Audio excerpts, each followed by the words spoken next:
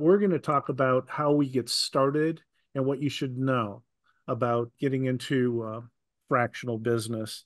I've done a lot of pivots in my life, and uh, you know, now that I've been, you know, in the business world for you know 45 almost 50 years i uh, I, I hope i've learned a little bit so please uh, i think the most important thing is we're lifelong learners in the last two years i picked up a cva and a CEPA certification not because i wasn't doing the work but because i really wanted to learn what other people were doing and i really enjoyed both of those processes so certifications aren't ne necessary but I just believe they really go a long way in helping you understand how other people are doing their work. Um, quickly, uh, Dan mentioned this is interactive. I'm I'm much better discussion leader than I am a, a, a lecturer.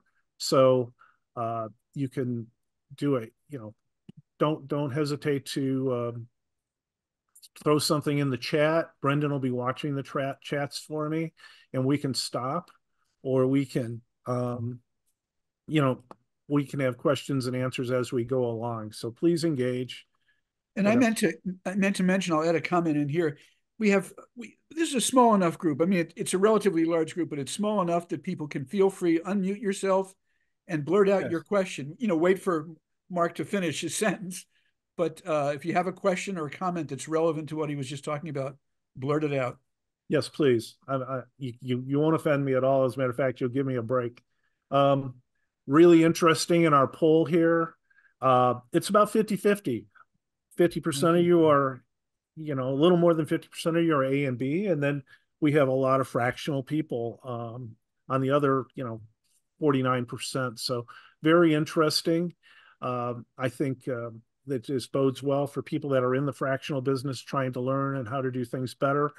Uh, this is a little bit geared towards people in A and B, but I think this is things I'm going to talk about.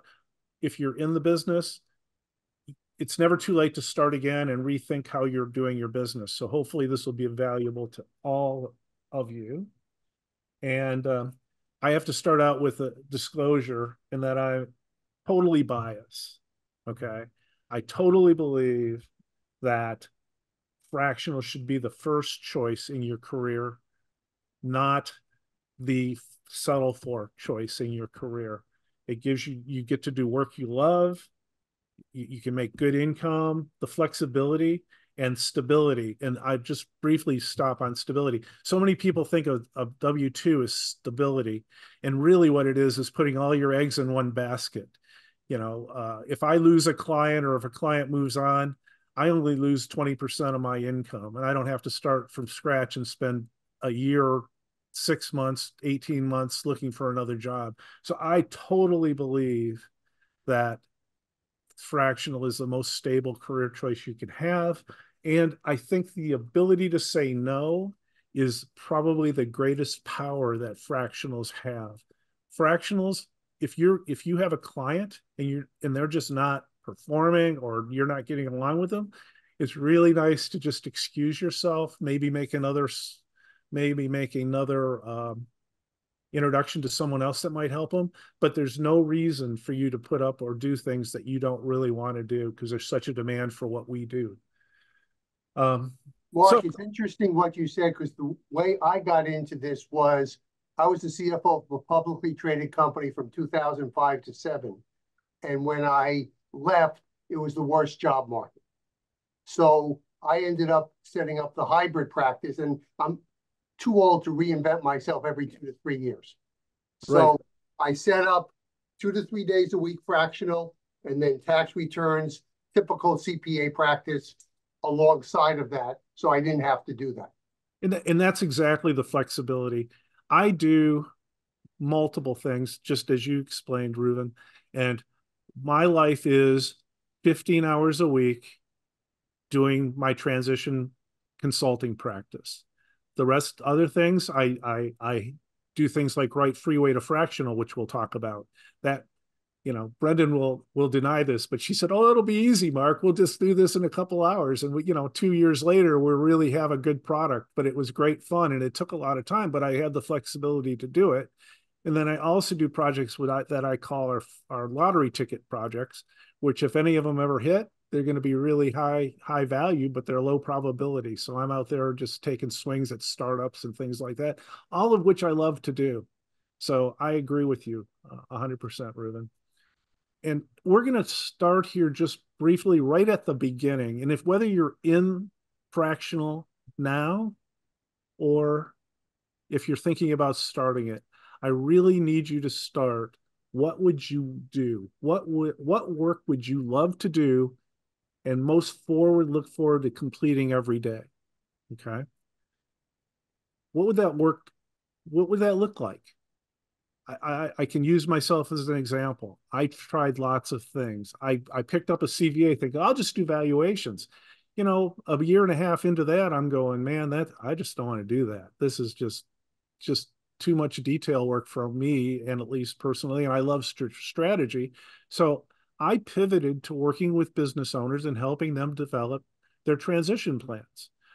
Typically that's a two to five year process for clients and i get to become their best friends they're made their their their advisor. It's work that i love to do the relationships working with family members. It's fantastic. So i really think that yeah, i think um, jeannie mentioned that she was stressed and that she had to work all this overtime well first of all i never work for free if i put an hour in Mm-hmm. it's either in my it's either in my monthly retainer or I get paid hourly for it and I get paid handsomely for it. You shouldn't be working we you know this is sort of a sidetrack but just going back to Jeannie's comment, you know, if it's stressful and you're not getting paid for all your time, you're probably not doing the right thing and you know, we need to talk step back and think about that a little bit. But I'll just comment on that real quick, Mark, yeah. if you don't mind. Um, we had a different model, I think, and we were working with small companies, uh, uh, one to five million in revenues at that time, which would probably equate to, you know, maybe up to 10 million today. But uh, it was very hands-on, and um, the one thing our, all of our clients had in common was um, they were all in trouble Mm-hmm. And they were not looking to sell or do some kind of transition like that. Many of them were uh, family businesses, and that was a big problem. Um, so it was it was a very different model, and uh, it worked. It worked, mm-hmm. and we did do a, a retainer oh, basis, monthly retainer. But and I was remember I was more like the worker bee. It was my first right. job outside after my MBA, well, uh, so I was willing to put in the time and the hours because I had a fabulous boss. But that's uh, great. Well, you know, I loved your your your your your description of time shared CFO, which is really what a fractional is. So I love I I've never heard that before, and I really appreciate it. It was fun. You know, I I, I can use that. I'm going to use if it's wait wait wait. You better talk to Brad Howe about that. that I'll ask right. him if you can use it. Okay. Okay. Well, I still think it's a, a a very good example or a good description of what we do, and we're not talking in depth about what that is today, but it really is selling a fraction of your time That's to right. people that can afford a fraction, you know, of your pay, uh, because they don't need a 300, they can't afford a $300,000 person, right? But they can pay you 60, $70,000 a year. And, you know, if you have three or four of those as a, right. those are people you love, right? To work with, it's really not hard to go to work anymore. So really, um, uh, all of you, if you get into this and you have stress, if if the stress is hitting you, you, you know, please please give me a call because I've done it and I've done everything wrong once, which makes me an expert. So uh, thank you so much for that. But really, what I I really want you to do is really come back with how satisfied would you be if you only serve people that appreciated you doing the work you love to do and were paid well for it. That is what fractional provides an opportunity to do. Not saying it's easy at all, but I think the more important thing is what would you what would be on your not to do list? Right? So many of us get into being a fractional and we end up balancing people's checkbooks. And we want, you know, we hate that and we want to get $300 an hour or $200 an hour, and that's not worth it. You're doing the wrong thing. right? I mean, you can set up a fractional business doing controller and bookkeeping work. There's nothing wrong with that. But if you're a fractional CFO, you're building systems, processes, and people, not balancing checkbooks and running reports. Does everybody see the the difference? I mean, the CFO of a company isn't the controller and not the bookkeeper. And so many of us think we have to do that work in order to get a fractional job. Now we may have to do a little of that, but if it's a majority of our time, we're we're we're probably didn't sell our we didn't sell the right services to our employee to our clients because we end up doing things we don't want to do. We're not doing strategic work that's high enough to afford our salaries or justify our salaries. So I really want you to consider what you end up and how you develop your business. And it should be around that high level strategy, CFO work, redoing cash flow, um, building systems, processes, and people, as I said. Whatever it is that you love to do in that as a CFO, it's great. Uh, and it reminds me of a little story of a FENG meeting about, oh, maybe nine years ago. And we were going around the table and everybody went, you know, what do you want to be? And our little was part of our intros, and everybody said, "Well, I want to be a CFO." And it came it came to me, and I said, "Well, I don't want to be a CFO." And they go, "Well, Mark, why not?" And I said, "Well, I'm just really tired of making good, having to make good numbers better. You know, I just it's just too much work. I mean, it's too stressful for me, so I don't want to do that, right? I mean, I want to just deal with people that want. I mean, I I can get really creative with you know accounting rules and tax rules and i just i got burned out doing that so that's something i didn't want to do anymore so you know think about what you really want to do and what you more importantly what you don't want to do. And you might want to drop a few things in the comments of things that immediately come to mind of what you wouldn't want to do. Hey mark yes, one i was going to say um, so having spent most of my career in silicon valley um, one of the things you get classified as, and I am one of them, it's called an operating CFO, an operational CFO at the strategic level. And I think rather than just closing the books and doing the accounting and meeting with the bankers and all this other stuff, you want to be more involved with the strategic direction of the corporation. And so what I've done is because I've done 12 turnaround assignments, I've either you know fixed the company, liquidated, or sold it. Um, they're looking for somebody who's a strategic person rather than just somebody who's a book bookkeeper uh, or a CFO that has no operating experiences. Most of the CFOs I've come across don't have any operating experience at all. All they know how to do is do forecasting and planning and bookkeeping and AR and, and, and so forth. But coming in, focusing on the strategic aspects of cash flow and everything else, as looking at being, in other words, being at the CEO level. To me, right. that's where the value is. So in the Bay Area, guys that do what I were doing were making between five and seven hundred an hour. And I think that's kind of exciting. That kind of work is really the key, as opposed to be looking at it as just as a bookkeeper kind of a concept, even though you say you're a CFO. Right. And I will agree. I think that there's a huge, especially in the size market of Kansas City, if you really look at, if you really uh, analyze the jobs that are considered CFO positions or titled that, they're really just controller jobs. Okay. Yeah. They really are. And there's a huge, you know, misperception of what finance is versus accounting. And you know, I always say, look, there's two different departments in most universities, accounting and finance. They're totally different. And you have to develop those skills if you started out as an accountant and you do that through experience and you work your way up to a CFO, or you become a CFO that is really a controller and you just keep doing the same work over and over and over again for 20 years and you think you're really a CFO and you're you're really not that. So I'm not saying there's anything wrong with that. It's just figure out what your job is. It, there's nothing wrong with being a fractional controller or a fractional um, uh, M and A person or different things. If this is the stuff you love to do, that's what you should be selling yourself as. You know, the other problem, Mark, to that, I'd just like to add to that. Sure. There's also an issue between the communication of the buyer and the seller. So if I'm the seller, the buyer, you have to clearly have an understanding. What do you mean by CFO, et cetera? And that's a problem because they don't. A lot of them do not understand the no roles of what they are. Right. And so if you can't, you've got to baseline that before you get started. If you don't, you're it's a lose lose proposition. Right. You know, a lot of times I have to come in and help. The first thing I do with my clients is help them build that org chart and get a controller in there and, and do that. But I'm still not doing that work. And it hurts because you want to jump in. You really can't do that much without good without good mm-hmm. books.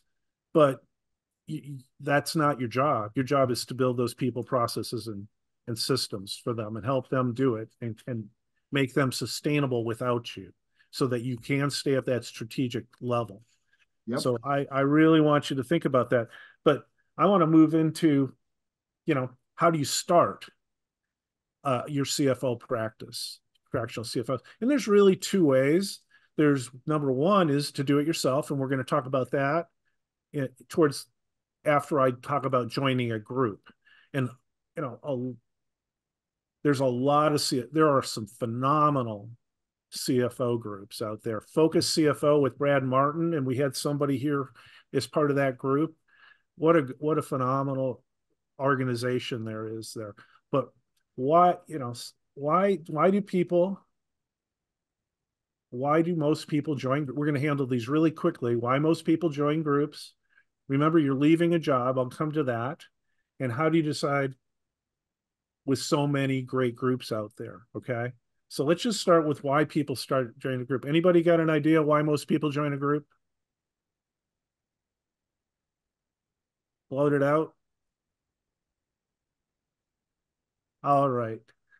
Most of us are afraid to sell deep down. In groups, most groups have a have a way to uh, not all, but most groups have somebody out there being a rainmaker. And if you understand the sales process for professional services, it's really not that hard to do. But this is why people join. Right. Number two is some groups have great training and coaching, and that's fantastic. You know, you get a lot of support, and that's a good thing.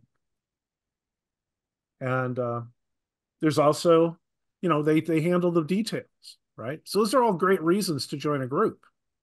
And and there's groups that do that very well. You don't have to do anything. You just show up and do your work. And and that is, you know, for example, Brad uh, Focus CFO's process. They've got market leaders that do the sales, and they've got people in the back office that help you with your admin. And you go in and you spend a day or two a week with your clients, and you make really nice money. There's not. It's a fantastic opportunity. Okay. But I do have to mention there's no free lunch. You know, they're making money. So 30 so uh, up to, you know, 50% of the money you're making is going to the group. So again, nothing wrong with it. You can make really good money, but remember that's out there. And um, this is the thing that I really want to help everybody with. Don't trade one job for another. Okay. This is your chance. There are groups that give a lot of flexibilities, or other groups that don't. There are groups that are totally exclusive. You can only work for them. You need to understand that. At the end of this presentation, we're going to, uh, there's going to be a link to, a, I think it's 30 questions that you should know before you join a group that I recommend everybody download and understand the that if you don't know these answers, it shouldn't be a six month discovery after you sign up. You need to understand them and their and and and um, and their culture and make sure it fits. And if they're going to stick, if if their jobs are sticking you on controllers jobs and you still make fifty thousand dollars a year on each job and you're happy to do that, that's a fantastic opportunity. Okay, so again, take the time to look at both sides of this and to look and really understand the group you're joining. Okay? The, do you do you really want to work there? Okay. So and anybody experience bad bad groups or bad consulting firms they've worked for in the past? Working 90 hours a week and getting paid for 40? How about that? I, I did that. I mean, I, I was at KPMG for 10 years. You know, I was working a lot, you know, um, worked at Duff and Phelps for a couple years doing valuations. I, I know what those those are great organizations, but they're gonna, you know, do I would I do it again with in hindsight? Probably not. You know, it's just a lot of work, a lot of uh, it didn't fit the culture. So make sure you do. Okay. So where do you start if you want to do this on your own? Okay. And um, I'm going to go with the very basics. And you really need to know this whether you're going in a group or not. But if you're on your own, it's really focused because nobody else is selling you. Okay. Define your value proposition, get to revenue, and don't get lost in the administrative details. Okay.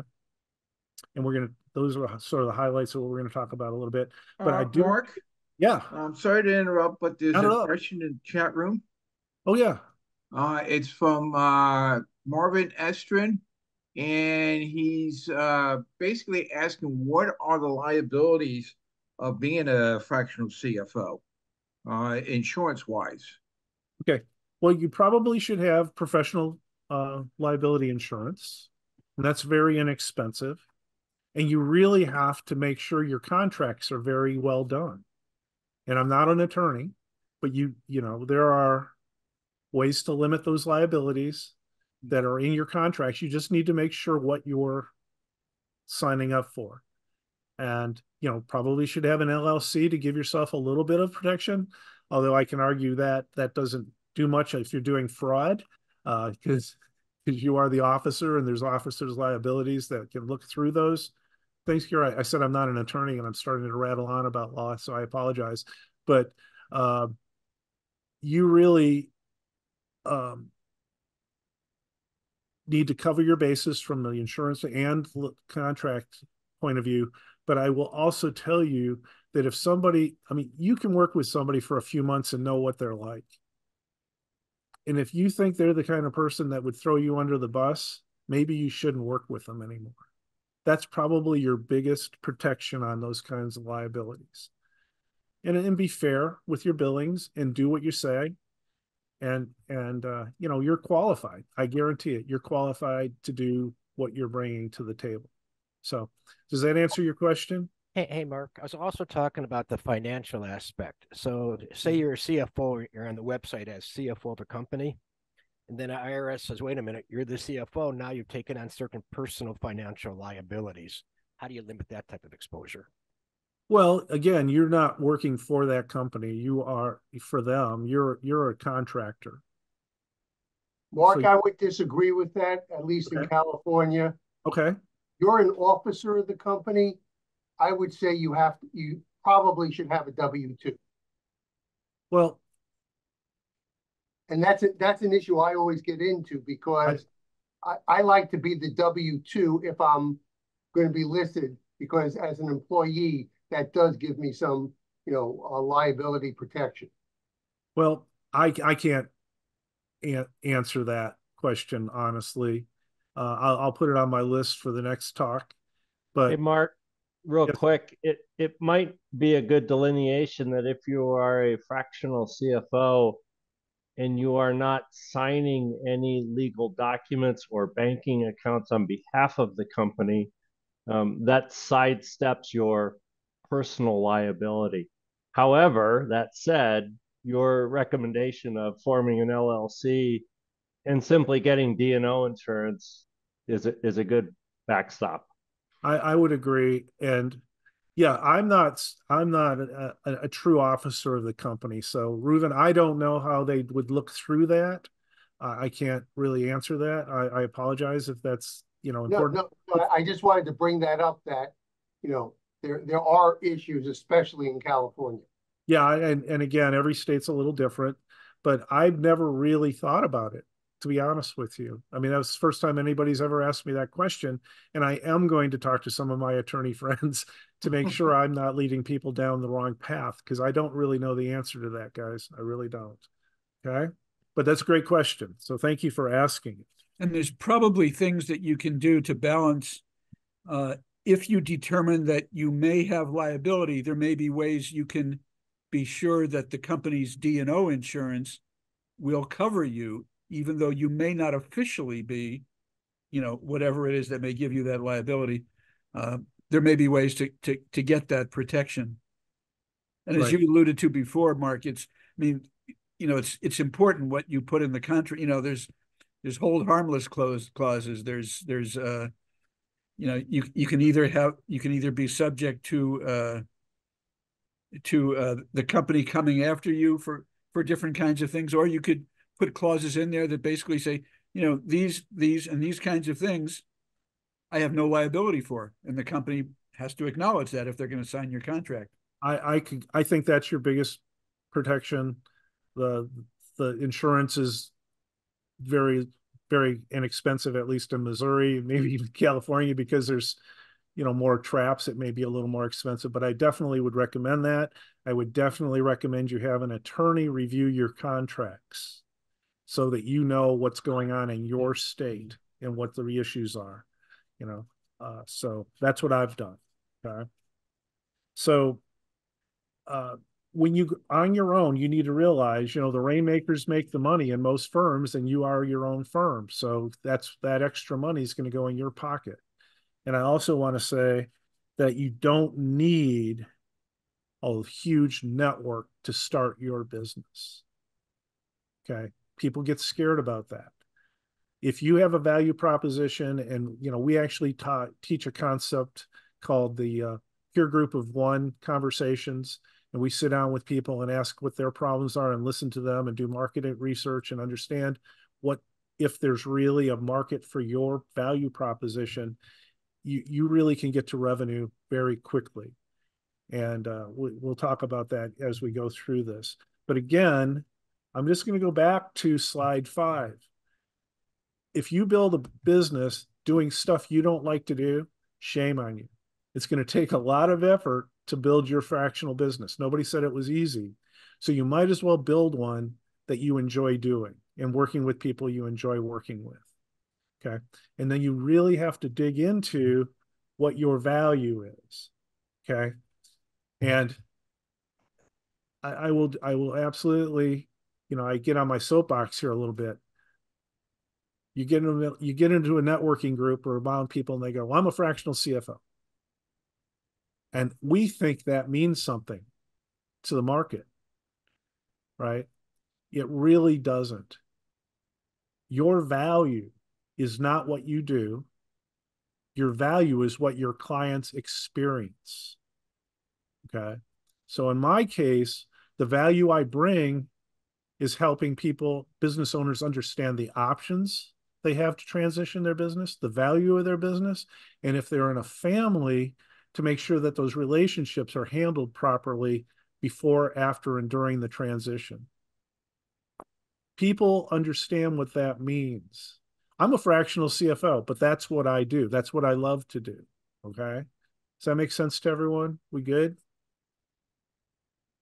I mean, I want to kick people under the table when they say they're a fractional CFO. I'm, I've, it's probably the only time I clinch my teeth um, in in in almost any meeting what do you do and what what what you know i i say if my aunt can't understand it right it's not a really good definition of what i do for people. So define that value proposition and then get out in the market and talk to people that are there and see if they agree with your value proposition.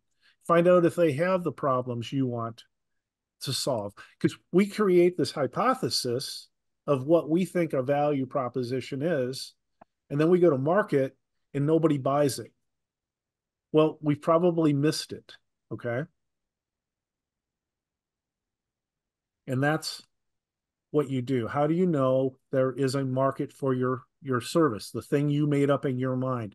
You know, when I negotiate against myself, I always win, right?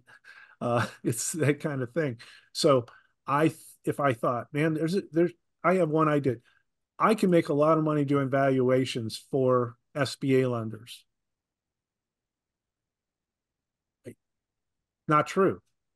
They they don't they pay the minimum amount. There's too much work, and there's guys out there that'll do them for a quarter what I can even break even on doing them. So that's something that's not going to be profitable for me, or not something I don't want to do. 500 of these and make you know, a thousand dollars on each one every year. That doesn't fit what I love to do. So, you know, go out there and figure out if, you know, the sooner you figure out there's not a market or you don't want to do it, the faster you'll get to revenue. Okay. And I I I I really, you know, want to get to this quickly here. Um, I love business startup checklists. I love the fact that this guy put go get clients down at the bottom. We flip that on its side. We flip that on, upside down. We basically believe that you need to get to revenue first. Okay. You need to get to revenue and not get lost in the details you know when you get to these some of these groups where you talk about cfos like everybody's patting themselves on the back. I set up my website. I've got my llc in place. Well those are really cool things and important.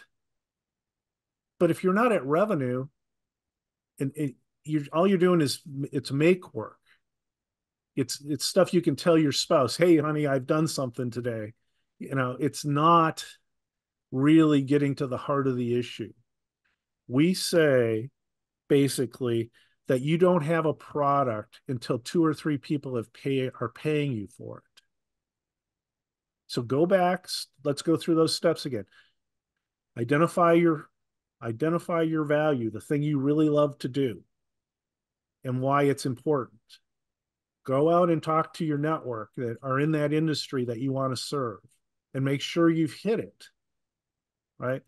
And then by by being right, you'll get referrals to work. And oftentimes the people you're talking to say, you can solve that problem, I'll hire you. And you get to revenue very, very quickly in this very, we teach this in Freeway to Fractional. Uh, I can only just touch on it briefly here, but you need to get to revenue before you go out. I've seen people spend thousands of dollars on websites and branding and then never sell anything. Big parties, big kickoff parties, and they miss the market completely. So hopefully I'm making this this is a very very important part from my perspective. And and if you're in the fractional business already, it's never too late for you to go back and say, this is what I want to do. Let me go check out if there's a market for it and start selling that and start weeding out or le- getting out of businesses that you don't want to work in or doing things you don't want to do. Don't don't don't dump your clients but you know you can nicely transition either transition out of that work and up into the stuff you like to do with the same client or if there's not an opportunity there replace them. Do the things you like to do that pay the highest amount of money for what you love to do. Like I, I, I sort of repeated myself here a couple of times, but it's very important, very important for us as we're as we're building our fractional business, not to dread having to go and sit at our desk and crank out stuff we don't like to do, and we don't get paid enough uh, as much. Okay. These administ I'm going to say this again. The administrative details are important, but they're not number one. They're as a matter of fact, I see a lot of people repeating again, using them as a way to avoid getting to the first thing, which is getting to revenue. Anybody questions? Understand that? Comments?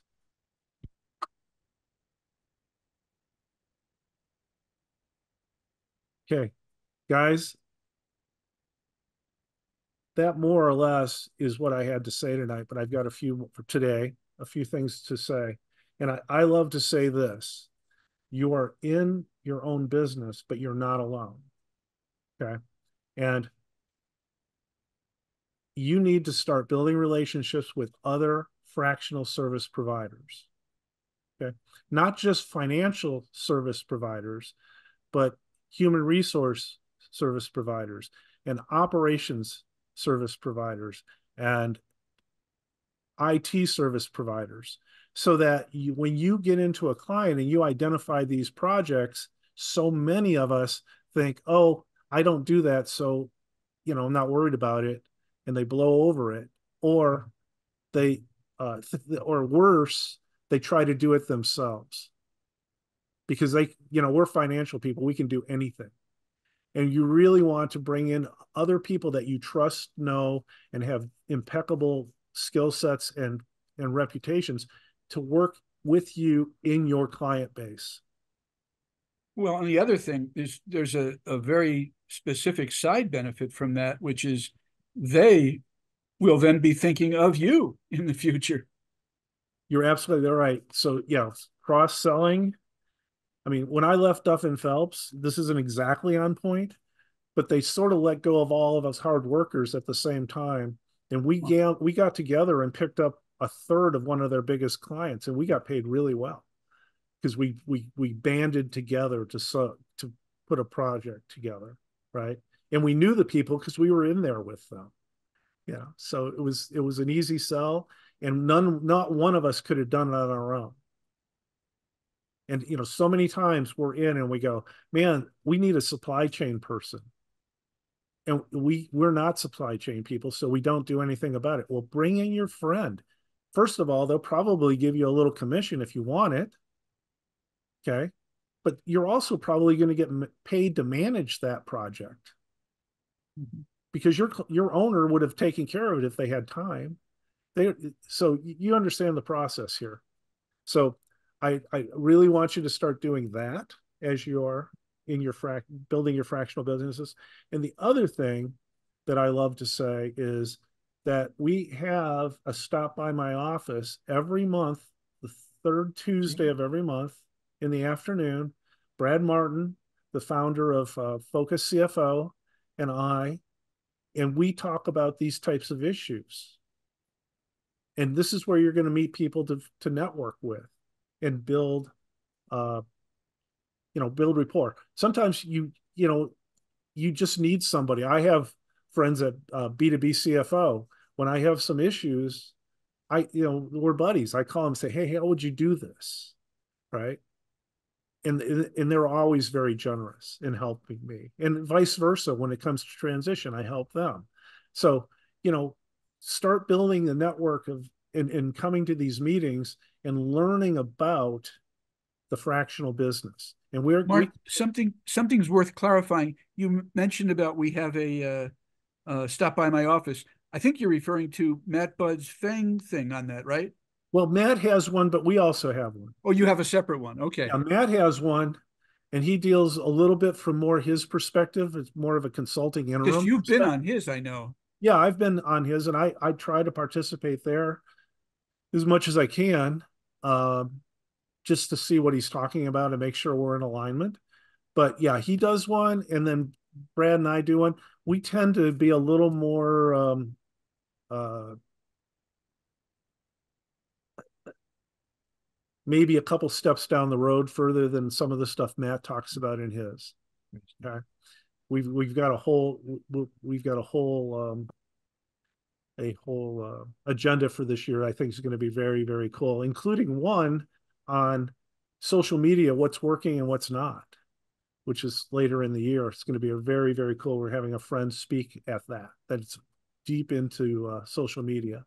Uh, so, and we talk we talk about sales and we talk about what you know we get to the basics and drive down about how to bill you know should you be a, a, a retainer based or should you do hourly or how do you do that and there's all type we talk about all these issues that'll allow you to reassess how you're doing your business or how you want to do your business okay? So you're not alone here. We have a lot of fun. I do think you know uh, i think that this the financial executives networking group is slowly becoming the fractional executives networking group but matt doesn't like that when i say it. But we are really banding together and helping each other build our businesses and i really invite you to be part of that. Whether you're in it or thinking about it you'll keep getting more and more information and then you know what next or now what i i will offer a couple of things uh, based on our freeway to fractional um, uh, resources. The first one is a, a, joining a group checklist. If you're thinking about in, joining a group, you really need to check this out. Uh, all the questions you should ask. How do you get paid? Can you sell? Are you exclusive? It goes on and on. But if you don't know the questions to ask, you might miss them. If you ever, I've done this. I've I made assumptions about what vacation time looked like when I joined jobs, and I missed it in my contract because I didn't think to ask it because there were so many other things that I was doing. It's sort of the same thing. Don't miss these important questions when you're interviewing. So I highly recommend everyone look at that. And then we also have a, a short course. It's called Five Days to Fractional Boot Camp. And it's all online. Brendan, are you there?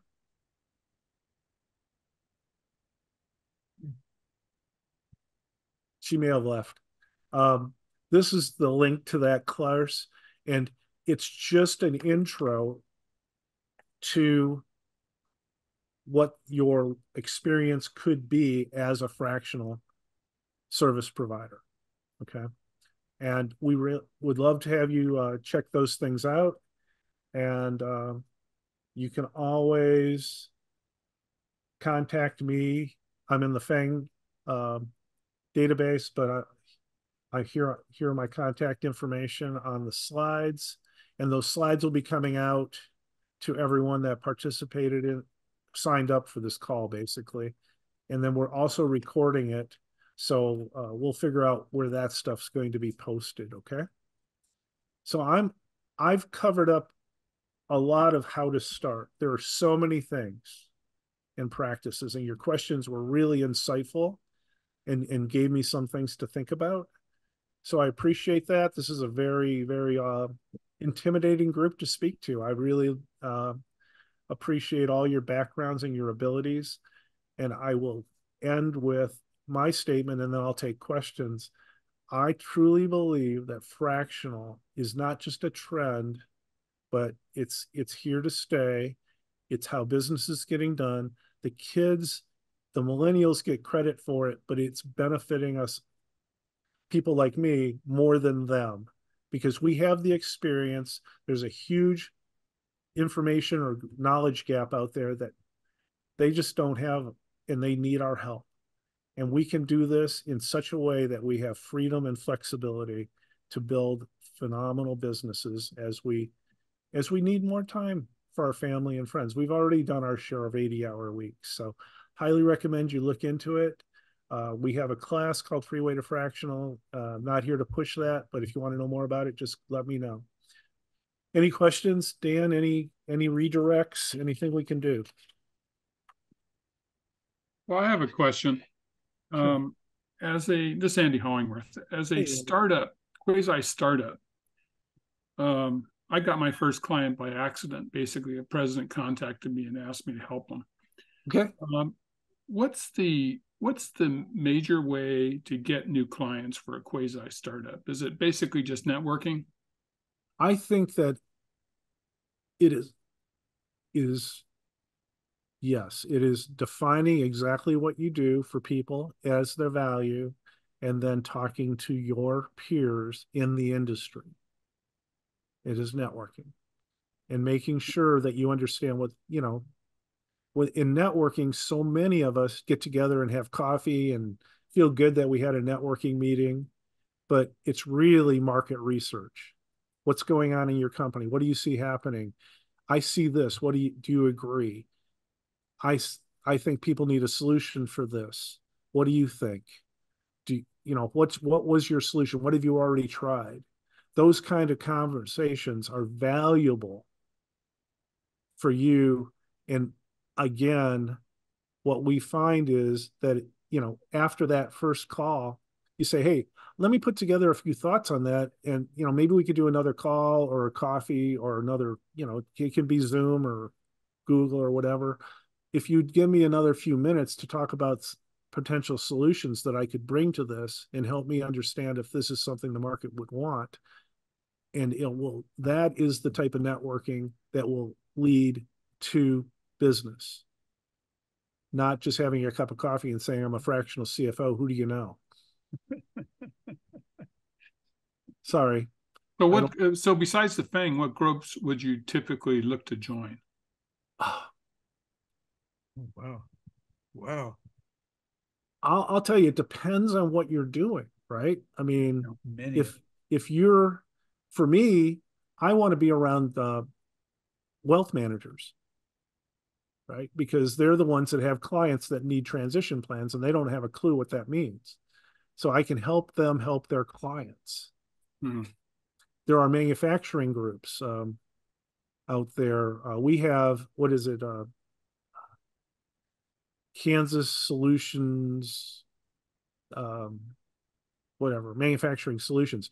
They're an MEP, and they they they they serve all the manufacturers in Kansas. If you want to serve Kansas, you want to get to their events, right? Um, I don't necessarily think I probably make somebody mad, so I won't say this, but I will. I guess I'm. I've made people mad in the past. I don't think it's going to Chamber of Commerce meetings. It's you know trying. It, those aren't necessarily target rich environments for you. Okay, so figure out your target rich environment and get there.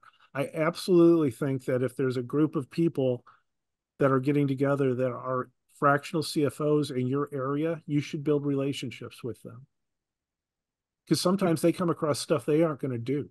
They don't want that question from Andrew.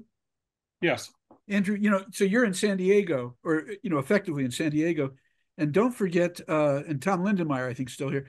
Don't forget Judy Thompson's biweekly networking events uh, newsletter, which is somewhat unique. Uh, uh Mark, this is a uh, Tom Lindenmeyer's partner, Judy Thompson, many years ago, before I got to San Diego, as a way of giving back to the community. She's a financial headhunter. So okay. way of giving back to the community came up with this biweekly events newsletter, which it's certainly not all, but a big portion of the professional groups networking meetings each month are listed in there with a description and a website and all that stuff. And Andrew, I would say that's a great source. You know, once you figure out where you want to specialize, that listing is a great place to look for groups that would be likely to have your targets as attendees. Oh, thank you, Dan. That's a, that's a great idea. And also in San Diego, you have the CFO roundtable uh, with, um, you know, it's now what, Marsh McLennan with Hal. I mean, that's a great place. And message me or contact me if you need information. Thank you. I'd, I'd like to just mention a couple of things we did at Financial Managers um, when I worked there in Boston. My uh, my my boss, the owner, was was very savvy with uh, connecting with many many people, and um, he had been a Harvard uh, University administrator, so he knew a lot of people who knew people, and he wrote letters to um, uh, the uh, the newspapers, and I, we had a great article about our, our company in the Wall Street Journal. And you can believe it, and in Inc. magazine. So this was, I guess, um, newer back then. So it may not warrant an article in the Wall Street Journal anymore. But uh, we we got a lot of clients uh, just from that free uh, free advertising uh, there. You do have to be a good schmoozer and get out there. I didn't have to do that too much, fortunately, because that's not really my forte, but he was really good at that. Um, did you have a comment on that, Mark? Because I have. Yeah, I was going to say you don't you. have to. You don't have to be a great smoozer. You just have to have a lot of enthusiasm and passion about what you're doing, and people will buy it. Yeah, yeah. It's it's good to have a tagline or something like his was. My briefcase is my desk and, you know, and and that was, I believe, one of the the uh, bylines on on um, uh, the Wall Street Journal article. But um, I have a couple questions for you, if that's okay, because I'm interested to hear how you manage your business. Not that I'm I'm going to be going back into this, but I just think the idea is really interesting. It was um, so I wanted to know how long do you actually uh, retain clients? What's your average um, uh, length of time with clients. And then I'm just uh, amazed to hear that you said, I hope I understood this right, that you only work actually on the client business 15 hours a week. So I was wondering how many clients you usually have at a time? Right. Well, there's first, I'll, I'll do these sort of the way I remember them. My clients are three to five years most of the time. Some of them will never go away. You know, I'll have to, you know, this, I've tried to leave and go on to some other things and that was a big mistake. That's the other thing we could talk about at some other time. As a fractional, people are going to try to hire you away. Don't do it. Stick to your guns. Um, I, you know, I'm a bit older, right? I don't need to make a lot of money. My house is paid off. My kids are out of college. They, you know, they have their own careers. So I only have to make, you know, 120, $30,000 a year to pay my bills. So that's why it doesn't seem like that many hours. Matter of fact, I did my budget based on 40 months this year or 40 weeks, not 50. You know, and and to be to make my nut, I have to work 15 hours a week for 40 months, 40 weeks. Okay. So it comes and goes. It's not perfect, but that's the way, you know, and, and the reason is not because I'm sitting around doing nothing. It's because I'm doing other things I love to do that have potential to make money and do make money. So my fractional business is only a part of what I'm counting on. And uh, did that answer your question? Yes. Yeah. Okay. I don't know Thank if I you. covered them all, but yes, Gene, appreciate your questions. Guys, this is what I said. This is the business to be in.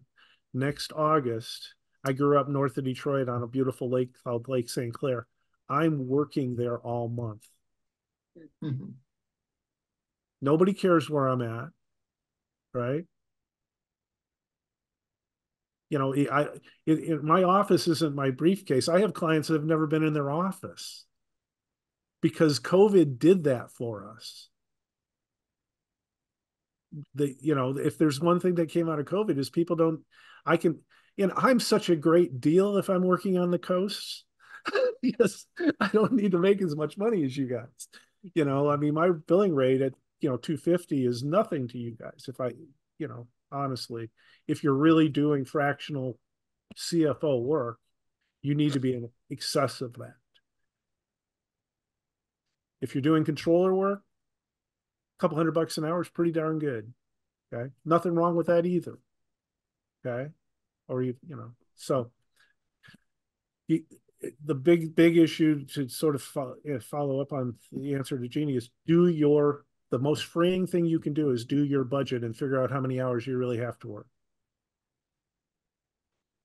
Any other questions for Mark before we uh, let him go?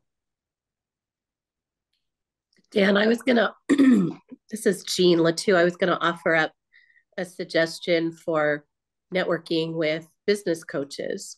That's yeah. been a great source of referrals to me because they often go into an organization and they figure out what needs to be fixed and how quickly it needs to be done. That's and right. oftentimes that is that definitely is the financial arena. So yeah, I mean, t- team up with people, business coaches, HR people, um, IT people. That's a great source and they're happy to do it because they can't solve it. They don't even know what a balance sheet is. They don't care okay? But they see it's an issue. That's really the magic of networking and working together on things okay? So um i i, I want to i don't remember our timing but i think we're getting to the end. So uh please feel free to reach out to me okay? Um about anything. If you want to know more we can do a you know, I'll I'll, I'll probably send you a link to my calendar calendar and say here's a 30 minute uh, conversation about fractional. Happy to do that with you. Uh, Want to tell you, I, you know, I'm I'm very excited about freeway to fractional and what what that is. So I I encourage you to check that out. And um, if there's a LinkedIn page for it, okay we we we believe that most people if they do what they're saying what we teach will get to revenue before they finish the class no guarantees, but I'm, that's what happens when people do the work. So we not an easy thing, but the best thing you could possibly do for yourself